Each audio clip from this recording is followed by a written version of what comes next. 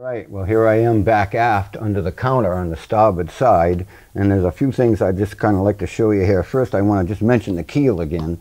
You know, uh, the keel is sticking out past the boat here, past the stern post because it's going to have a couple pieces of deadwood uh, that go in here that are just ahead of the rudder. So, you know, it's going to get bobbed off right about here when the show is over.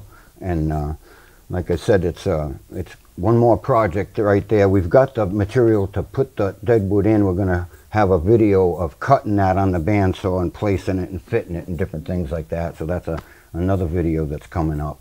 And, uh, you know, uh, this is pretty well, pretty solid back here. Like I said, it's got this laminated knee that sits down on top of the keel and it's bolted into the horn timber. And uh, the bolting that you see here is just a temporary thing until the other pieces are put in. So we use some iron or some ready rod to hold the floor timbers down to the keel and different things like that. So those things will be replaced. And uh, it's quite a bit of drilling and quite a bit of things that are going to go on back here. You've got to drill a hole out for the shaft through the horn timber or through the stern post and then a hole up for the uh, rudder post. And, uh, you know, so there's quite a bit of work going to go on back here. You know, the other thing I kind of want to show you here is, uh, well, here's one of the floor timbers, like I said, the plate style floor timber bolted to the side of the frames. And of course, this bolt right here bolts that down, you know, to the center line. So it's, it's pretty cool. Every one of these floor timbers have a tang on the bottom with the keel bolts or ballast bolts going through the floor timber.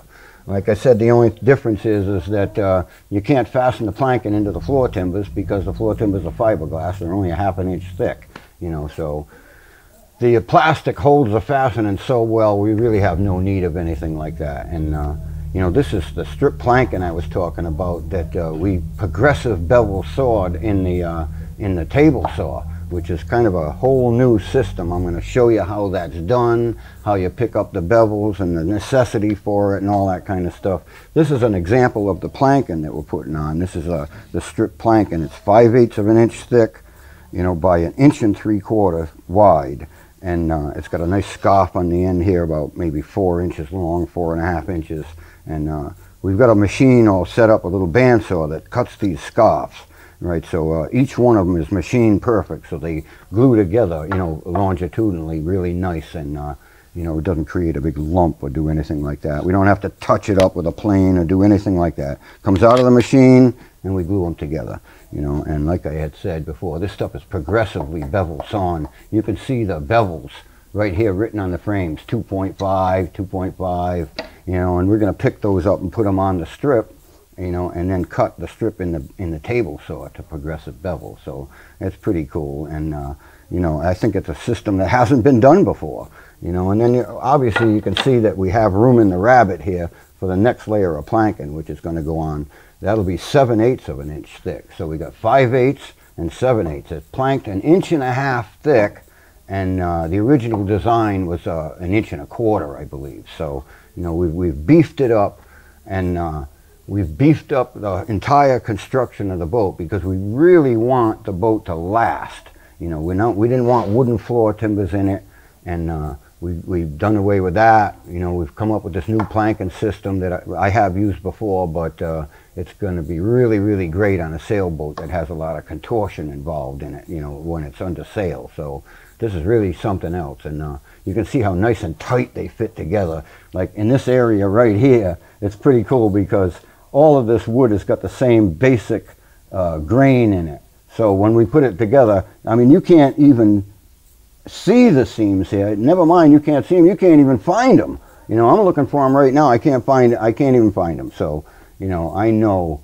You know, I knew it was going to come out that way. It's just a simple system, and uh, it works fantastic. It saves time. It's easy to do. I think it's a system for people to build strip plank hulls, just single layer, would be a fantastic system for people that are unversed in Carvel planking and some of the complexities of that type of construction.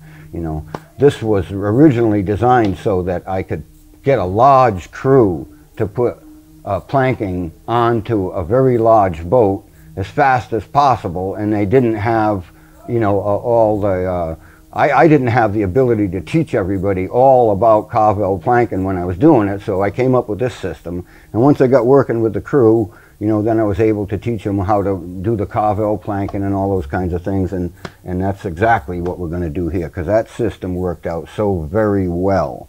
Now, uh, you know, we're going to show you numbers of different things about the framing and all these things like I said there's quite a few videos still to go and then we're obviously going to be doing some work and some live video work and you know all kinds of things are going to happen here but uh, you know um,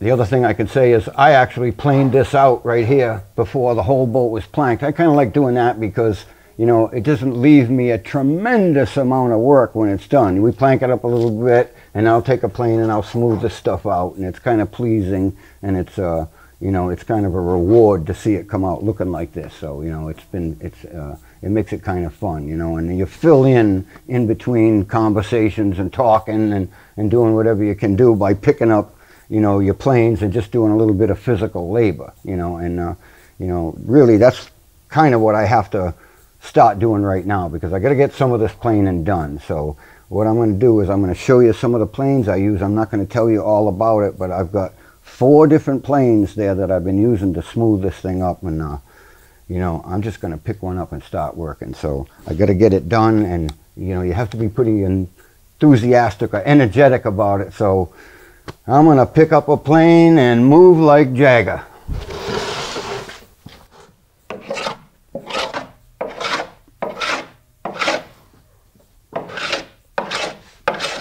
Now you can see the planking lines or the glue lines start to disappear as I get down close. In this essence, what I'm doing is hollowing this whole area right here because it's in an inside curve, what they call a futtock curve.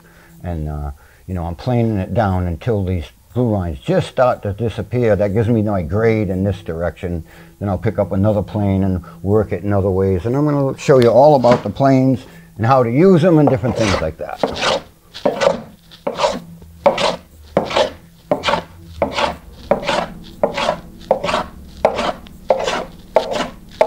Yeah, doesn't that look nice? That's it.